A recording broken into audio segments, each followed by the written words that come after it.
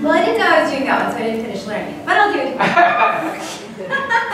uh, so this is my typical party piece, but called "Punching Something. Um, this is called Maid Going to Comber. I think oh, you guys have done Oh, yeah. We before, know it. Yeah, so sing along. Okay. One year ago.